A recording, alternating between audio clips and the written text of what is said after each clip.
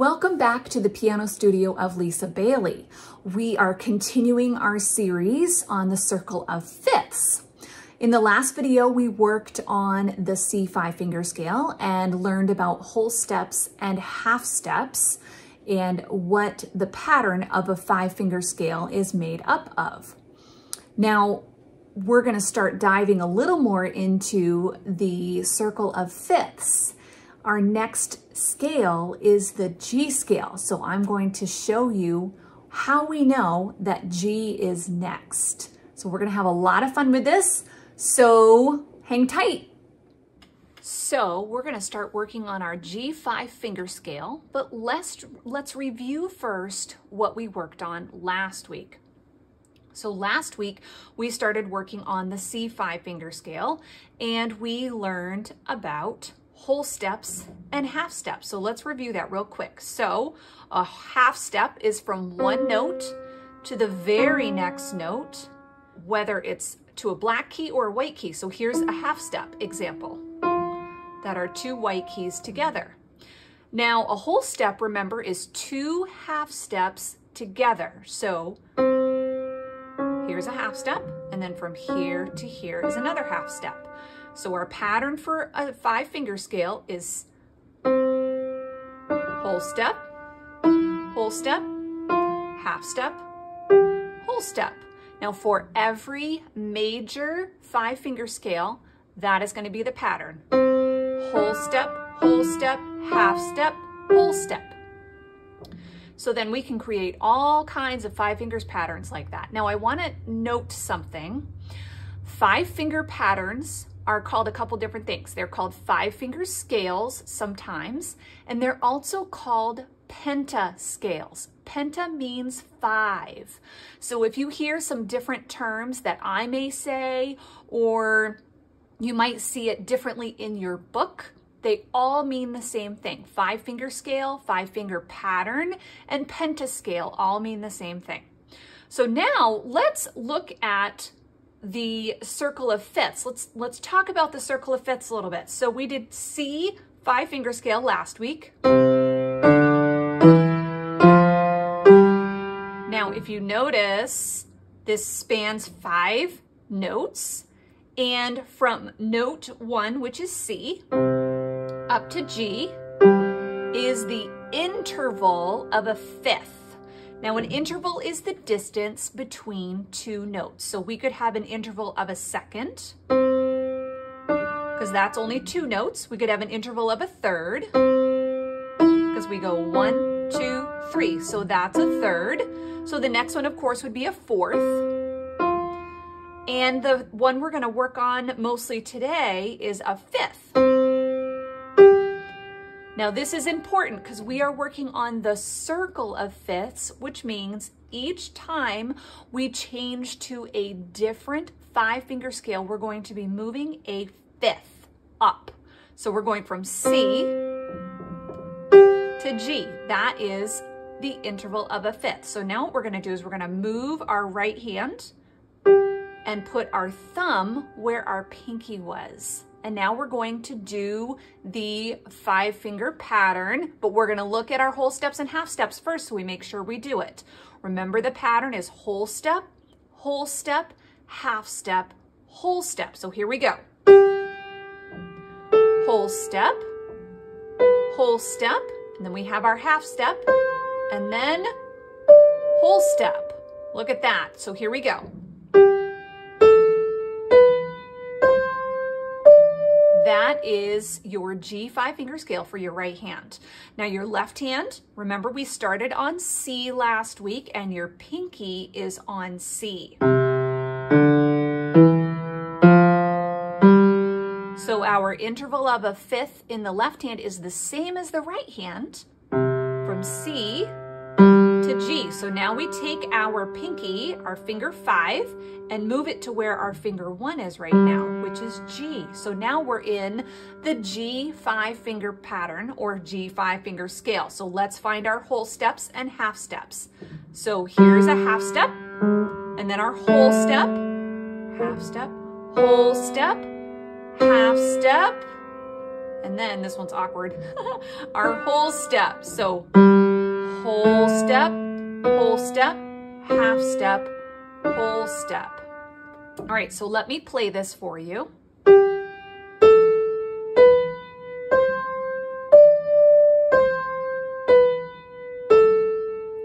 Now the left hand.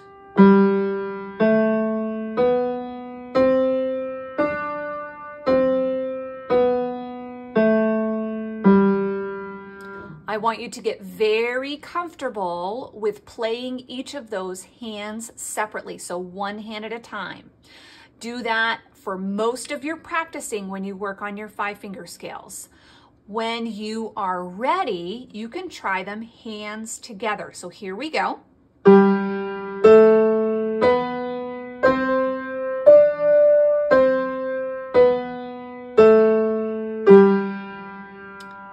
Going to do it in contrary motion, which means we're moving in opposite directions. So we're going to start with our finger one and move in the opposite direction.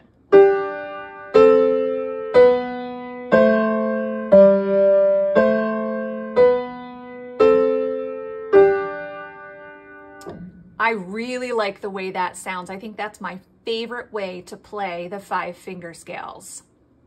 Now keep in mind, we talked about this last week, that your fingers are not gonna be way down here on the ends and they're not gonna be way in here on the inside the black keys.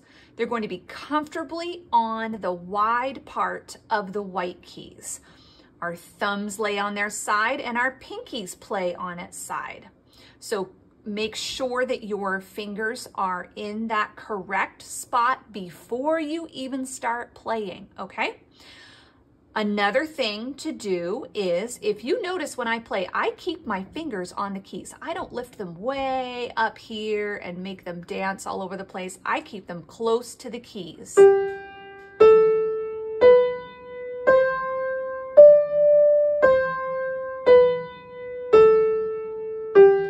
and I have a nice curved hand shape and I play on my fingertips. So we don't want to play in flat fingers that makes it really awkward and hard to get our pinky and our thumb. So if we have curved fingers, our pinky and our thumb are right in line with the rest of our fingers. As you play, remember firm fingertips.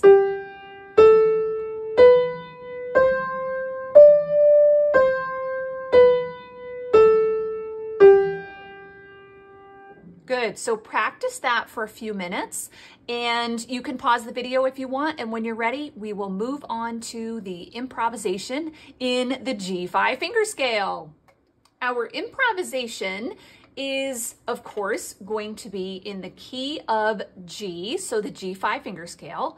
Now, what I would like you to do is the same thing we did last week with the C5 finger scale, and that is to try out different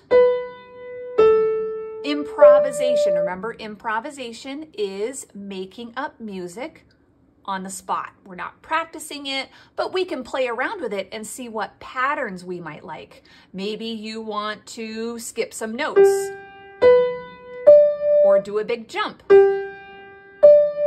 Or maybe you want to hold notes for a long time.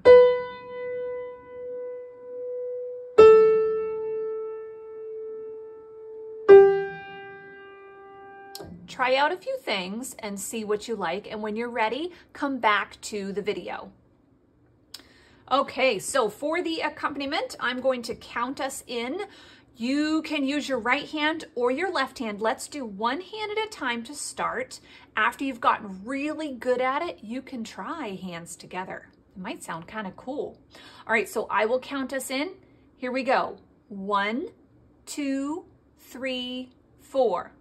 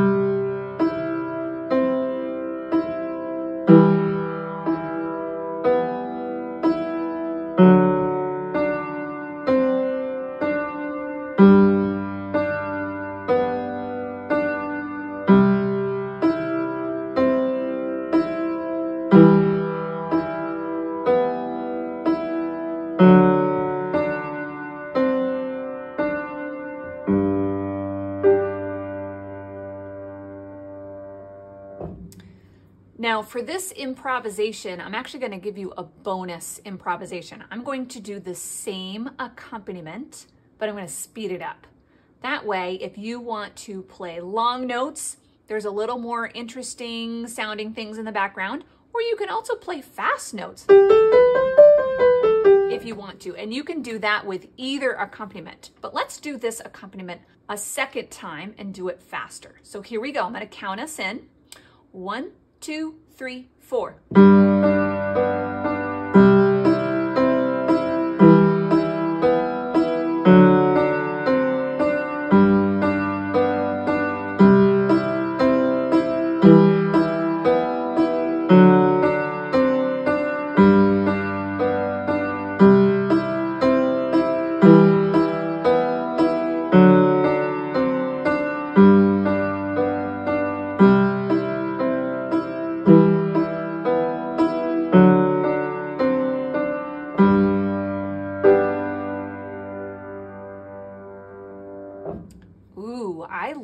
That faster. What do you think? Did you enjoy playing that with me? That was so fun and interesting. So I am excited to hear how this goes for you. I would love to receive a comment or a question from you if there's anything that you would like to say to me. And um, I'm going to start working on the next video so that we can move into the D major five finger scale, which is very exciting because we start using black keys. I'll see you then.